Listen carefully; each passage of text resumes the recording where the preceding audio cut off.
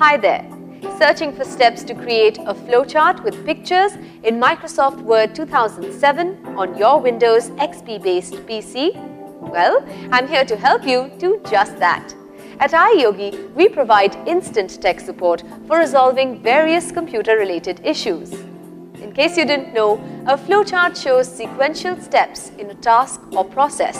Also, there are many different Smart Art layouts that you can use to illustrate the steps in a process, including the layouts that can contain pictures.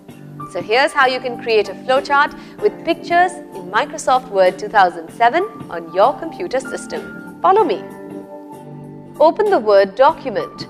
On the Insert tab in the Illustrations group, click Smart Art. In the Choose a Smart Art graphic gallery, click Process and then double-click Picture Accent Process.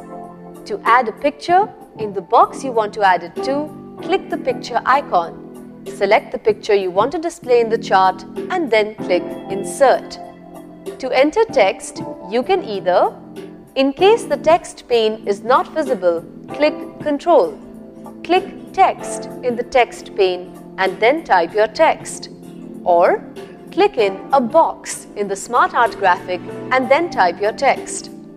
So you see, by following the simple steps explained in this video, you can create a flowchart with pictures in Microsoft Word 2007 on your Windows XP-based PC in an easy manner.